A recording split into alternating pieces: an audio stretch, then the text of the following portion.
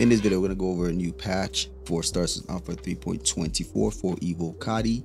And at the end, we're going to talk about some new leaks you might be interested in. Let's talk. Before we get started, I'd like to let y'all know that I'm doing a giveaway for the Drake Cutter.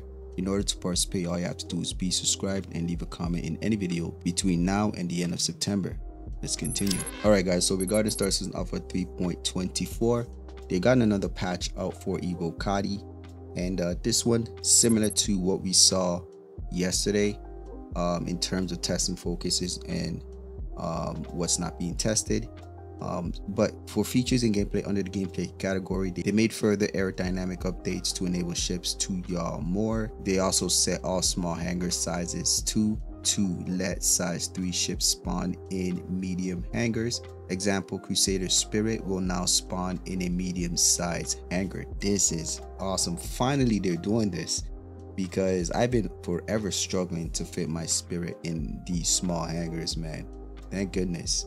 Hopefully, it's the same for the Anvil Carrack. They up the size for the Anvil Carrack because every time I, I, I get a hangar with the Anvil Carrack, I barely I can barely fit that in there. So um, this is good. This is a good update. All right. So in regards to bug fixes, there's a few. Um, they fixed the issue where ATC uh, missing vehicle inventory info on server crash recovery. They fixed an issue where um, for your personal hangars, the ASAP toggle in and out of focus when being used. They also fixed another issue where multiple areas across Area 18 has VisArea portal issues with environment assets. They fixed another issue where the Nomad remote turret display three Badger weapons in the HUD. Along with this is one client crash fix as well as four server crash fixes. So now in regards to the leaks, uh, we've gotten some information which I think is uh, interesting. So for this upcoming Halloween, they're planning on doing some new paints that they're going to release. And here are the ships that they plan to release these new um, paints for. The Anvil Carrack, the Syulen, Terrapin, and the Zeus.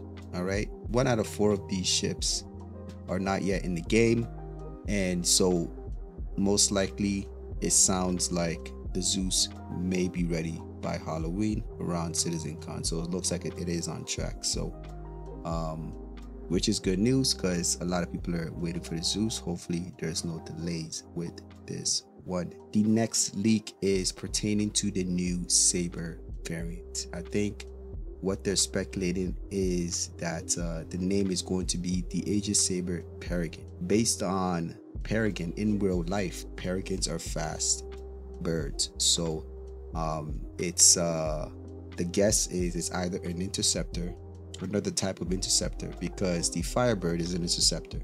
So maybe this is uh, an interceptor focused on dogfighting instead of a missile boat, or it's a racing variant of the Saber. So we're gonna have to see. Um, this is something that they did find in the game files, so we'll have to see once uh, they reveal it. Before I let y'all go, I'd like to let y'all know that my organization, Phase One Industries, is now recruiting new and veteran players. If you're interested, you can find our Discord in the description down below. Don't forget to leave a like, subscribe. I'll catch you guys on the next one.